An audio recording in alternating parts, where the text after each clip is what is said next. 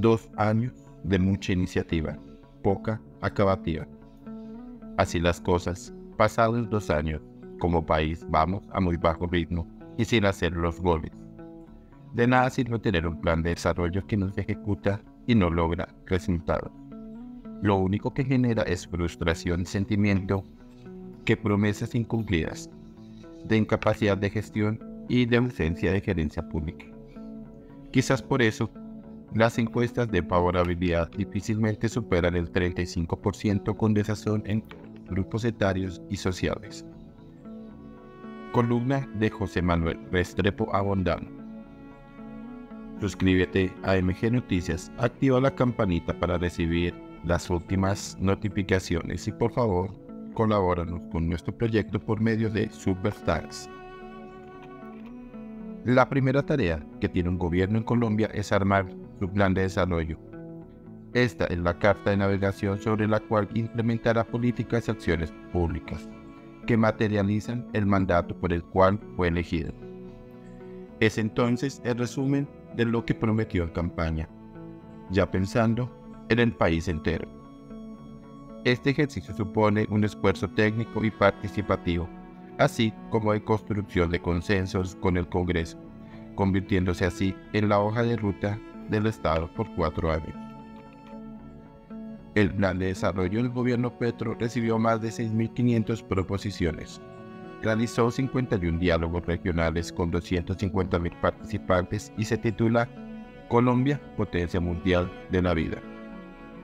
Tiene ejes importantes como la seguridad humana, el ordenamiento territorial alrededor del agua, el derecho humano a la alimentación, una economía productiva para la vida, la lucha contra el cambio climático y nuevos propósitos de convergencia regional.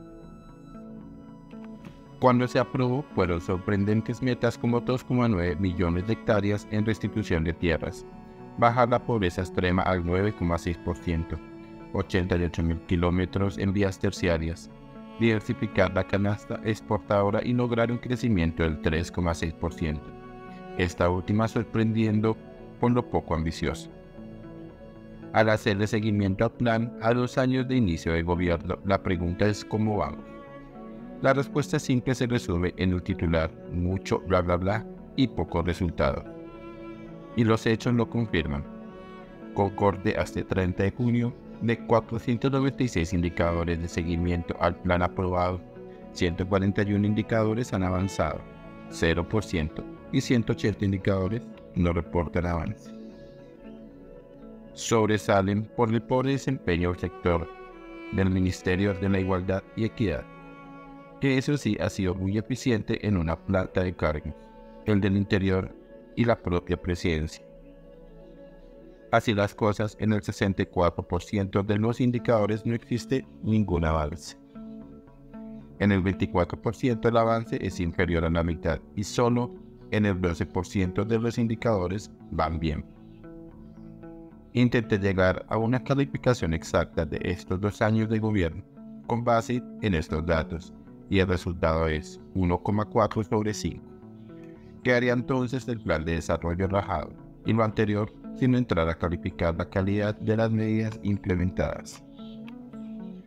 Nada muy distinto se ven las cifras de ejecución presupuestal, que pudiesen ser otro camino para evaluar eficiencia en la gestión que en 2024 está por debajo del promedio de los últimos 23 años. Allí sobresalen, por menor ejecución, las áreas de inclusión social, tecnologías, inteligencia y agricultura. Así las cosas pasados dos años, como país vamos a muy bajo ritmo y sin hacer los goles. De nada sirve tener un plan de desarrollo que no se ejecuta y no logra resultados lo único que genera es frustración y sentimiento que promesas incumplidas, de incapacidad de gestión y de ausencia de gerencia pública.